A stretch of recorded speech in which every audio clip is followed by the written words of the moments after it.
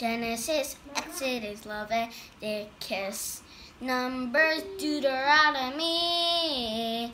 Joshua, Judges, Ruth, First and Second Samuel,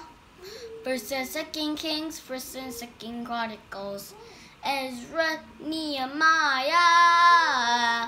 Esther, Job, Psalms and Proverbs, Ecclesiastes song of Solomon, Isaiah, Jeremiah,